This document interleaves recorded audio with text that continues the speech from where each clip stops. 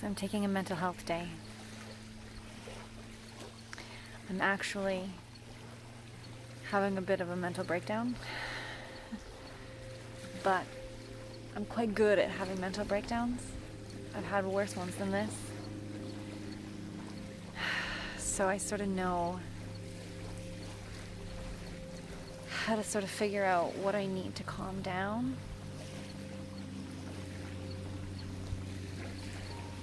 And I sort of, well, I decided I needed to see the horizon. I needed space. I felt suffocated. I felt like I couldn't breathe. So I told the kids that I was going away for a couple of days. And the way I explained it was I said, you know sometimes when something's not working for you and you're really angry, and I tell you that you need to calm down because you can't solve problems when you're angry? Well, this is a big problem. so I need two days to calm down.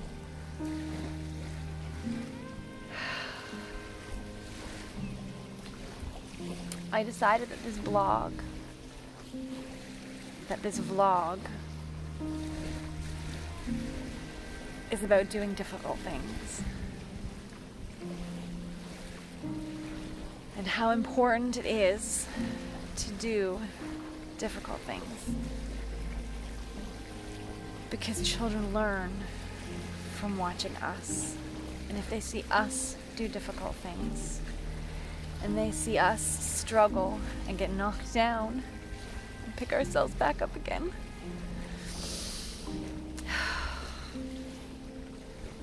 They see us doing it, then it becomes real. And if they watch us pick ourselves up and keep fighting, then they learn that they can pick themselves up and keep fighting.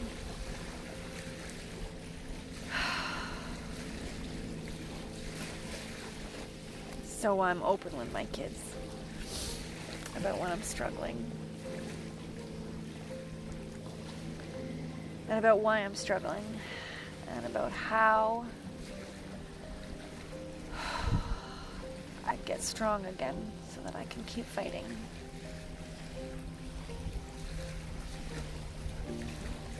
The situation is this.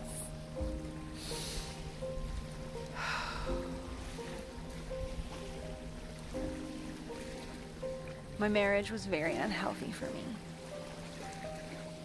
For many complicated reasons that I don't need to share here.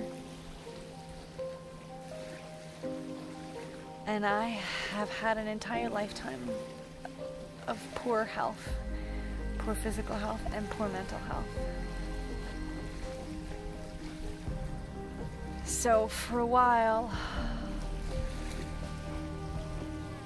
I tolerated the unhealthy marriage. I made the best of an unhealthy marriage. I pushed through, picked myself up. I kept fighting because I was used to doing that. But it came to a point where I realized that my physical health and my mental health would be an awful lot better if I wasn't living in an unhealthy situation. And that was when the opportunity came up to go to Africa. So I jumped on it and I went. And having that room to breathe really solidified in my mind that I needed a different situation. I don't need anything complicated. I don't need a big house. I don't need lots of stuff. I actually prefer simplicity. Plumbing, you know, sure. electricity, yeah, yeah, I do kind of like having electricity. But I don't need so much complication. I don't need so many toys. I don't need so, I don't need so many things. I need a simple life. And so that's what I decided I wanted when I came back to Canada, I decided I would get a truck, I would get a camper, and we would go exploring. And we would just have a simple life. Have less stuff and more space. And yeah, the camper isn't more space. I mean, the world, the whole country being our space. That's what my heart told me I needed. So the girl's father agreed to buy me out of the house. And the plan was to use that money to go adventuring, to be free, to have the whole country be my space. And I really liked that plan, and the girls really liked that plan. So I spent all my savings buying the truck and buying the camper. I was very careful buying the truck. I knew it needed to be strong, it needed to be reliable. So I did my research and I got a really good truck. I was less careful when it came to the camper. I knew there was a shortage of campers and that a lot of people were buying campers and there was going to be a lot of competition. So I really rushed into that purchase. I just really wanted it to be the right camper for me. So I bought it without looking deeply, without really challenging the purchase because I really wanted it to be my camper. the first time that I, after it was delivered to my property, the first time that I unlocked the door, the lock crumbled in my hands. And it just went downhill from there. Uh, there's a bit of work to do with the camper, getting it clean, getting it renovated, and getting it redecorated. Um, and I'm gonna get started today. And of course, since yesterday was the first day of summer, today is absolutely freezing. But hopefully when the sun gets going, it'll warm up a bit. So let's get moving. Was it all just a dream, just all I replaced this lock when I first bought it. Yeah, do you see all this water damage back here? Hey, water damage. That right there, that's water damage. See, look at the color of the wood. Do you see the color of the wood here? Uh huh. Yeah, it's nice and light brown. Yeah. And flat. Do you see how flat it is? Uh huh. Now, what about this wood over here? Oh, It's not flat. No, it's not flat. And is it the same color? No. No, it's dark color. Those are water stains. So there must have been a leak over here. And it got in the wall. And it got in the wood. And because they use cheap, lightweight wood to build these things, it just falls apart. So this is gonna fall apart. Well, it is falling apart, yeah. But hopefully we can, you know, we can take care of it really well. And maybe we can even make it better so that it's not falling apart. What do you think? Can we do that? I think we can do it. That you would be leaving me just like the winter snow. Tell me, honest? Tell me, should I know? Girls, it's hailing! She's on the truck. I did it yesterday. I did not film it because I had 700 things I was thinking about, and this camera was not one of them. I will try to film it at some point. Um, but she's on.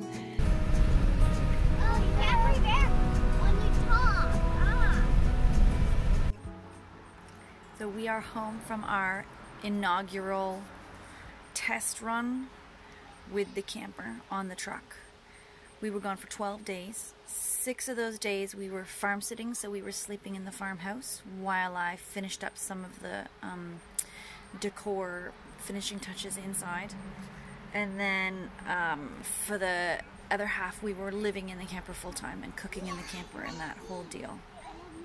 And I gotta tell you, I am really glad that we did this because there are so many things wrong with the camper. There are so many problems. There were so many obstacles. And I know, especially having used camper, but even with a new camper, there are always glitches. There are always things falling apart. So I am prepared for that.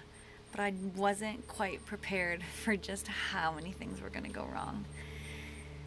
So let me walk you through them. For starters, I lost the cover to the bathroom vent. It flew off while we were driving. I didn't see it. Some lady pulled over and told us about it later. So I'm gonna have to cover that up so that it doesn't get rain inside the camper. I still cannot get my hot water heater to work. There's a little teeny bit of corrosion inside this hole and I can't get the anode rod inside of it. Not far enough to hold the water, at least. At the very least, it would be nice to have a latch that works. My fridge was giving me troubles. And partway through the trip, the fridge stopped working altogether and my food all went bad. Awning holder. I'm not surprised that it broke because, like, damn, look at it. oh, and then I also noticed this the other day. Look at that. Great big gap. It's huge. And it's held together with staples. That's it. That's how they hold it together. When the camper is on the truck, the end of the truck is right about here. And everything shifts badly here. You can even see there are scratch marks on the floor because this door opens and hits the floor, but right now, look at how much clearance there is. Look at how much clearance there is right now. But when I'm on the truck, the far end gets lower and the near end gets higher. And the door goes thunk and hits right about there. And you have to squeeze through this teeny tiny little space, which is fine for the kids. The kids do it no problem, but for me it's a slightly bigger challenge. And this drawer doesn't lock. So I have to figure out if there's a way to keep my butt from sagging so much when I'm on the truck.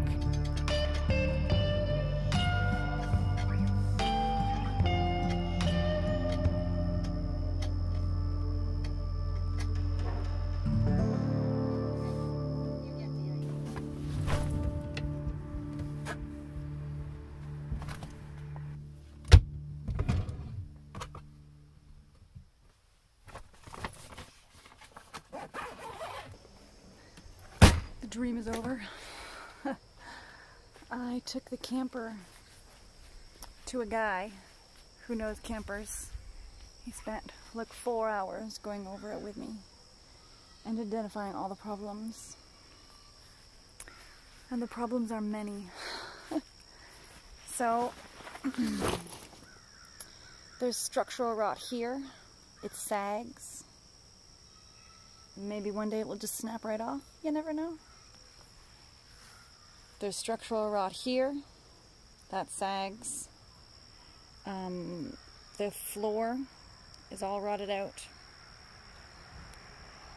That, in addition to the furnace doesn't work, the hot water heater, I can't get the anode rod in. Um, I can't even remember now. The the roof, the entire roof needs to be resealed.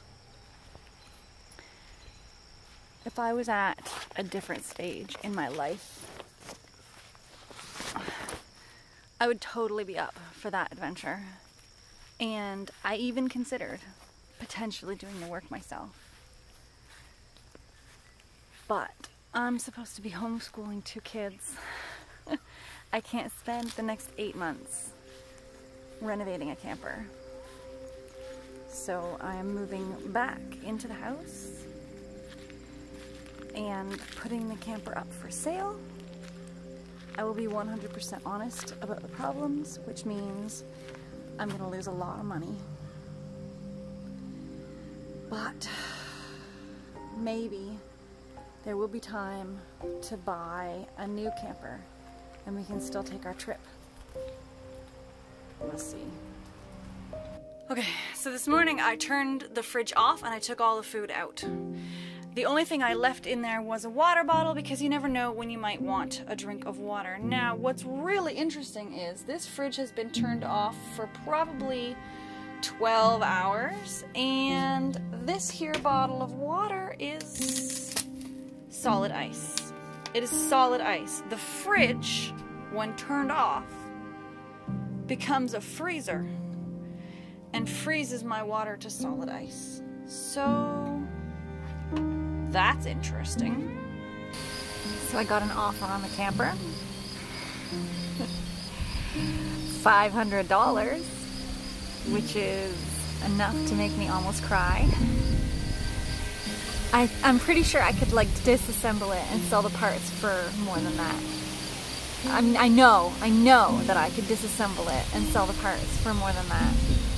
But it's just, the ad's been up for like almost two weeks. And almost every day, sometimes multiple times a day, I get messages from people saying, How bad is the water damage? And I just answer, I don't know. It might not be very bad at all. But I'm a single mom with two kids. I'm not really in a position to fix water damage. And they all say, mm, I appreciate your honesty, but it sounds like too much work for me. And then that's the end of it. I don't think it's gonna sell. So I don't know. I'm toying with doing the work myself. I don't know. I don't know what to do. And it just went downhill from there. To the point where now I know it's not usable. So, you know, I I coped with that disappointment and I came up with a new plan. And then last week the truck broke down.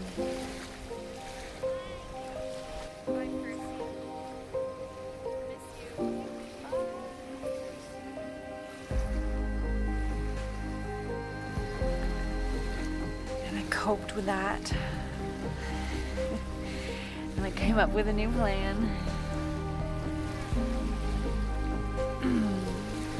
and then today the truck is still broken.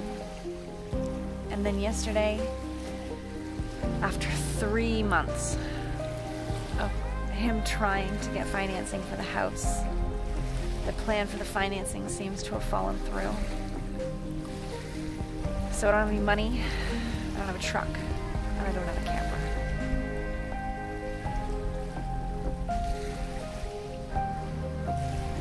So that's where I am.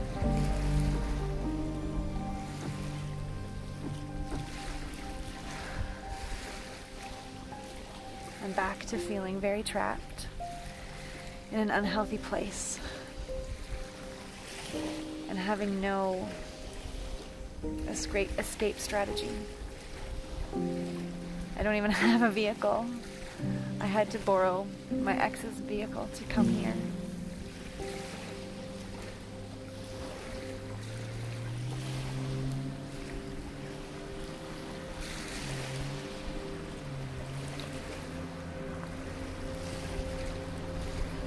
So this is a vlog about doing hard things.